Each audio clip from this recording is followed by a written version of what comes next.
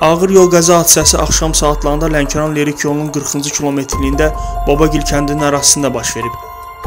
Belə ki, 34 yaşlı Mail Qurbanov Kia markalı avtomobildə idarə etməni itirib və maşın 20 metr hündürlükdən körpüdən çaya aşıb.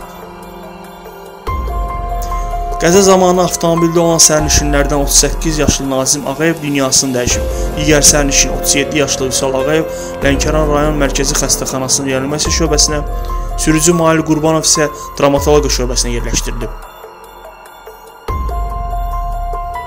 Qeyd edək ki, qəzaya düşənlər Lerik rayon Oda kənd sakinləridir.